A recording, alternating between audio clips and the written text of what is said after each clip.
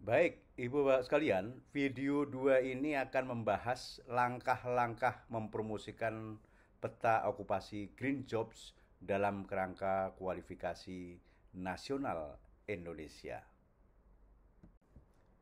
Ibu Bapak yang saya hormati, selanjutnya, selanjutnya mari kita membahas langkah-langkah promosi Green Jobs pada Dudika.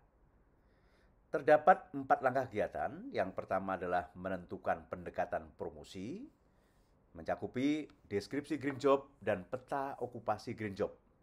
Kemudian manfaat peta okupasi, tujuan promosi dan sasaran promosi. Kemudian yang kedua adalah langkah kedua, mengembangkan strategi promosi yang mencakupi kerjasama dengan industri, integrasi dalam kurikulum, kemudian instruktur dan asesor yang terlatih, kampanye kesadaran, promosi dalam program pelatihan vokasi, sertifikasi kompetensi, peluang praktek dan magang, kemitraan dan pelanjutan. Baru yang ketiga adalah melaksanakan promosi peta okupasi green job ini yang mencakupi materi promosi yang kita siapkan, pertemuan-pertemuan dengan masyarakat, media sosial dan program insentif. Yang keempat, monitoring dan evaluasi promosi. Ini mencakupi riset dan data hasil pelaksanaan promosi, kemudian pemantauan dan evaluasi berkala, dan laporan promosi Green Job. Selanjutnya mari kita melihat mengapa promosi ini sangat penting, apalagi dalam hal sesuatu yang relatif baru seperti Green Jobs ini. Terdapat teori yang perlu kita identifikasi untuk membantu kita dalam melangkah lebih jauh yang pertama adalah teori komunikasi persuasif. Ini dikembangkan oleh berbagai teorisi, eh, teoretisi. Teori ini menyatakan bahwa komunikasi efektif dapat mengubah sikap dan perilaku audiens melalui pesan yang dirancang secara persuasif. Yang kedua adalah teori difusi inovasi oleh Everett Rogers. Ini suatu inovasi atau ide menyebar melalui berbagai kelompok dalam masyarakat berfokus pada adopsi inovasi seiring waktu. Kemudian teori AIDA atau Attention, Interest, Design, eh, Desire, dan Action. Ini diciptakan oleh Elias Sin Elmo Lewis, eh, Lewis eh, bahwa langkah-langkah dalam proses persuasi menarik perhatian, membangkitkan minat, menciptakan keinginan, dan mendorong tindakan.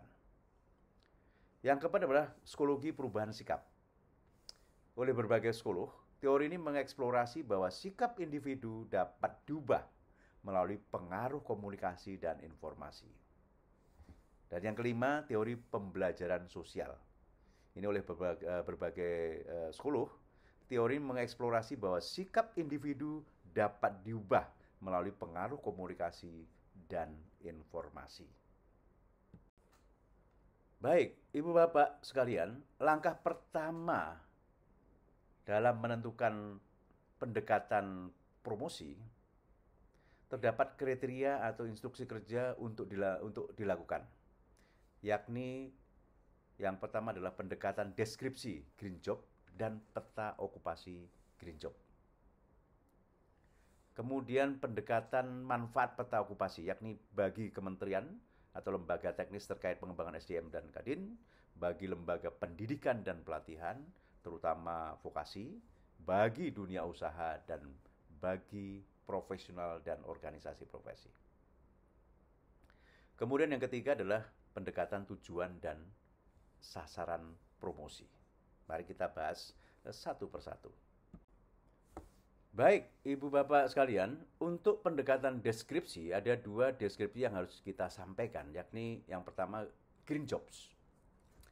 Green job adalah pekerjaan yang berkontribusi untuk melestarikan atau memulihkan lingkungan dan mempromosikan pekerjaan yang layak melalui satu atau lebih mekanisme berikut yang memiliki tugas-tugas khusus, membutuhkan keterampilan khusus, ya, tugas, keterampilan, menerapkan proses ramah lingkungan dan atau menghasilkan keluaran produk atau jasa yang ramah lingkungan.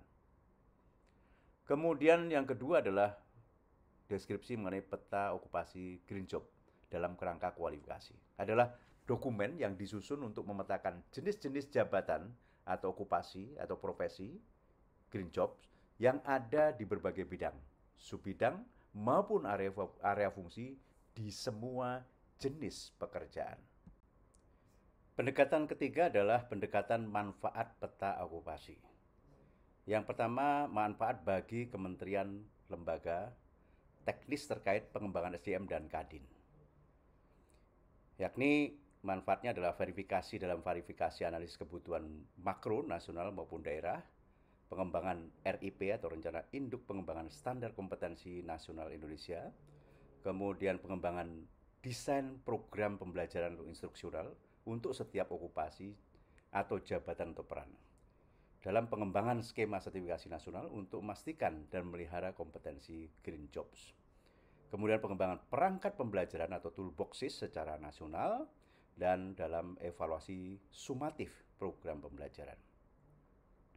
Yang kedua adalah manfaat bagi lembaga pendidikan dan pelatihan, terutama vokasi, yaitu dalam mengembangkan paket pelatihan dan profil lulusan, dalam menetapkan standar kompetensi lulusan, membuat desain instruksional sesuai dengan profil lulusan, mengembangkan perangkat pembelajaran atau toolbox secara nasional, memberikan referensi dalam program magang, melakukan riset pengembangan standar khusus untuk okupasi yang belum tersedia standar kompetensinya. Dan yang ketiga adalah manfaat bagi dunia usaha ini bermanfaat untuk verifikasi analisis kebutuhan pelatihan mikro, industri atau organisasi, pengembangan program rekrutmen berbasis kompetensi dan okupasi nasional, pengembangan paket program on the job training dalam rangka upskilling, reskilling maupun pemagangan, dan pengembangan individual development plan atau IDP. Kemudian yang keempat, manfaat bagi profesional dan organisasi profesi. Yang pertama adalah lisensi atau registrasi profesi dan lingkup peran okupasi yang dapat dicapai. Kemudian pengembangan standar okupasi untuk memastikan dan melihara kompetensi profesi dalam kerangka sistem asosiasi profesi. Dan kemudian pengembangan individual development plan atau IDP sebagai karir path profesional dalam kerangka kualifikasi.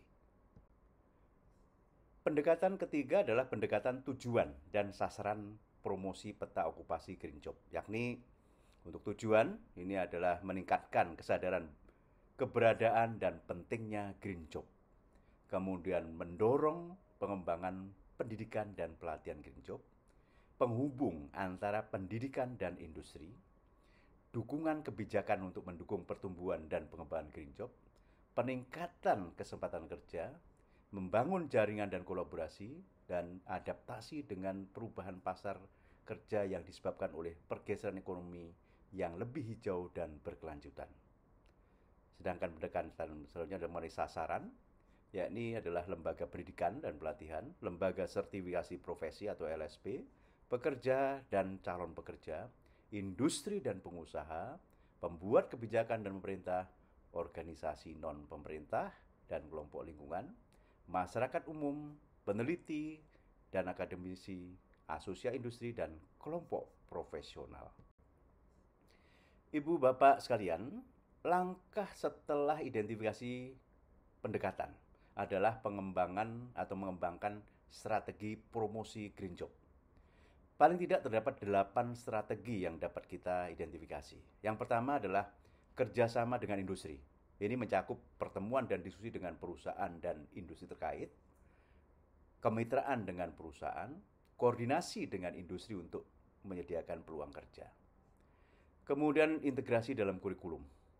Ini mencakupi bekerja sama dengan lembaga pendidikan, workshop untuk pendidik, pengembangan materi ajar dan bahan pelajaran. Kemudian instruksi, eh, instruktur dan asesor terlatih. Ini mencakupi program pelatihan untuk instruktur dan asesor, program sertifikasi untuk instruktur dan asesor, update dan pengembangan profesional berkelanjutan. Dan yang keempat, kampanye, strategi kampanye kesadaran, mencakupi menciptakan dan mendistribusikan materi promosi. Mengadakan acara publik seperti pameran dan talkshow. Menggunakan media sosial dan platform online untuk menjangkau audien yang lebih luas. Kemudian strategi kelima adalah promosi dalam program pelatihan vokasi. Mencakupi sesi informasi di PVPV atau pelatihan vokasi dan pendidikan vokasi, integrasi studi kasus dan proyek Green Job, serta mendorong PVPV menawarkan kursus Green Jobs. Yang keenam, strategi sertifikasi kompetensi. Ini mencakupi mengembangkan standar dan skema sertifikasi kompetensi Green Job, sertifikasi Green Jobs, kemudian akses informasi pentingnya sertifikasi Green Job. Yang ketujuh, strategi untuk mengidentifikasi peluang praktik dan magang, mencakupi kerjasama dengan industri, peluang praktik dan magang, database peluang magang dan praktek yang mudah diakses, dan acara pencocokan antara pelajar dengan perusahaan yang menawarkan praktik dan magang. Dan yang terakhir yang adalah strategi kemitraan berkelanjutan. Ini mencakupi membangun dan memelihara hubungan jangka panjang, kemudian pertemuan berkala dengan mitra, proyek kerjasama berkelanjutan. Langkah ketiga mempromosikan peta okupasi Green Job ini adalah melaksanakan promosi peta okupasi Green Jobs. Jadi yang pertama adalah materi promosi ini dibuat diidentifikasi sesuai konteks, mencakupi brosur dan leaflet, poster dan spanduk, video animasi, laporan dan publikasi, dan infografis. Kemudian pertemuan-pertemuan dengan masyarakat diselenggarakan, diidentifikasi sesuai konteks, mencakupi workshop, dan seminar, pemeran karir dan job fair, diskusi panel dan forum, kunjungan ke sekolah dan universitas. Yang ketiga, media sosial dikembangkan untuk menyebarkan informasi, mencakupi kampanye media sosial, webinar dan live streaming, blog dan artikel online, kolaborasi dengan influencer. Dan yang keempat, program insentif dipertimbangkan untuk mendorong peserta didik memilih program pendidikan yang berfokus pada green jobs, seperti laporan berkala, sarana presentasi, rekomendasi, dan strategi diseminasi. Langkah keempat mempromosikan peta okupasi green job ini adalah monitoring dan evaluasi promosi. Yang pertama yang harus dilakukan adalah riset dan data hasil pelaksanaan promosi dikembangkan untuk peningkatan berlanjut. Ini mencakupi pengumpulan data, analisis kualit, eh, kuantitatif, analisis eh, kualitatif, dan benchmarking. Kemudian yang kedua, pemantauan dan evaluasi berkala dilakukan untuk mengukur dampak penerapan peta okupasi green job. Ini mencakup penyusunan jadwal, indikator kinerja, pelaporan, dan evaluasi dampak. Yang ketiga, laporan promosi green job. Ini dibuat yang menjelaskan manfaat ekonomi, sosial, dan lingkungan dari program-program Green Job. Ini mencakupi laporan berkala, saran presentasi, rekomendasi, dan strategi, serta diseminasi. Baik, Ibu Bapak sekalian, selanjutnya mari kita memulai dengan pelatihan mempromosikan uh, peta okupasi Green Job pada dunia kerja.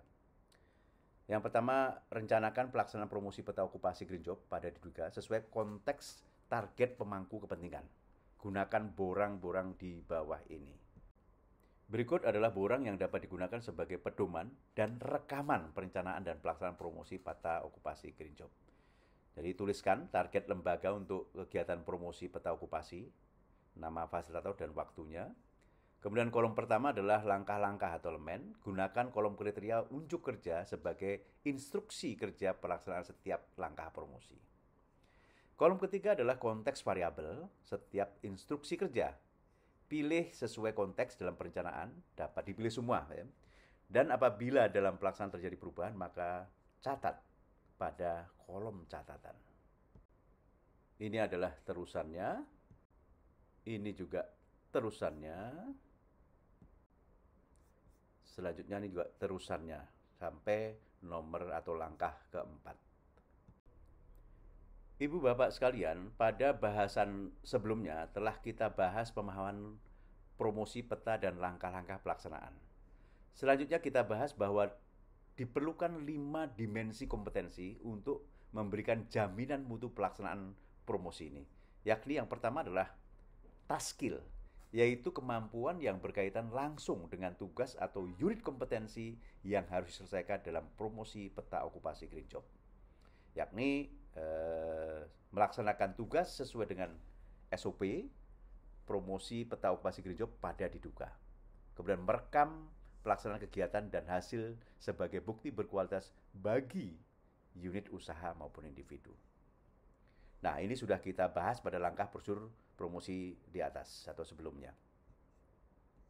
Yang kedua, dimensi kedua adalah task management skill, yaitu kemampuan untuk mengelola tugas sehari-hari dengan efisien, termasuk perencanaan, penjadwalan, dan pemantauan progres dalam promosi peta okupasi Green Job, yakni menyusun rencana kerja untuk melaksanakan promosi peta okupasi Green Job, mengatur jadwal untuk kegiatan promosi, dan memastikan bahwa semua langkah dilaksanakan tepat waktu kemudian memantau progres pelaksanaan promosi dan mengidentifikasi hambatan atau perubahan yang diperlukan dalam rencana. Kemudian dimensi ketiga adalah contingency management skill, yaitu kemampuan untuk mengatasi situasi tak terduga atau perubahan dalam rencana dengan cepat dan efektif. Ini mencakup mengidentifikasi potensi hambatan atau kendala yang mungkin muncul selama promosi peta okupasi green job dan merencanakan tindakan alternatifnya. Kemudian merespon perubahan dalam kebijakan atau lingkungan kerja yang mempengaruhi promosi. Kemudian mengatasi masalah atau konflik yang mungkin timbul selama proses promosi. Kemudian dimensi keempat adalah job role environment skill, yaitu kemampuan pemahaman tentang persyaratan lingkungan kerja dan perannya dalam organisasi atau industri yang berbeda. Di sini adalah memahami dan mengikuti persyaratan lingkungan kerja seperti good practices, SOP, K3, dan lain-lain dalam industri pekerjaan hijau. Kemudian berperan dalam organisasi dan berkontribusi pada promosi peta okupasi green job. Dimensi kelima adalah transfer skill, yaitu kemampuan untuk mentransfer kompetensi dan pengalaman dari satu konteks ke konteks lain yang relevan ini menggunakan pengetahuan dan keterampilan yang diperoleh dalam promosi pekerjaan hijau untuk menghadapi tantangan di tempat kerja lain. Dan kemudian menghadapi mengadaptasi strategi promosi yang berhasil untuk situasi atau industri yang berbeda. Selanjutnya, what's next to do tomorrow? Beberapa yang penting untuk segera dilakukan Ibu Bapak sekalian lakukan adalah uh, refleksi yang pertama, refleksi dan penilaian. Membuat rencana promosi peta okupasi green job. Yang kedua, pengembangan jaringan dan kolaborasi. Penerapan dan pengamatan. Yang kelima, evaluasi dan penyesuaian. Keenam, pelaporan dan berbagi hasil. Serta pembelajaran berkelanjutan. Alhamdulillah, kita bersyukur telah berhasil membahas dan mempraktikkan uh, sampai kompeten Selamat terus berlatih dan berinovasi. Terima kasih.